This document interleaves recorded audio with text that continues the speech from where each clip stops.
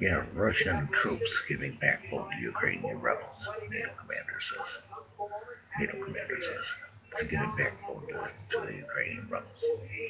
It's giving them strength. It's giving them power. It's giving them new weapons.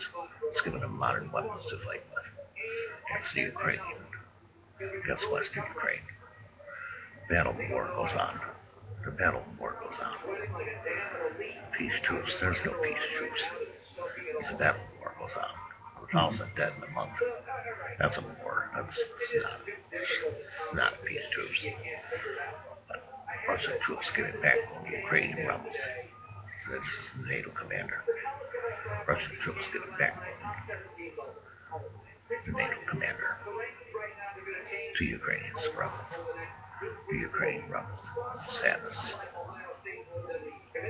That's be another war in the Ukraine. More people are gonna die. Sadness in life. As long as Russian troops get back on the Ukrainian rebels, the war will continue.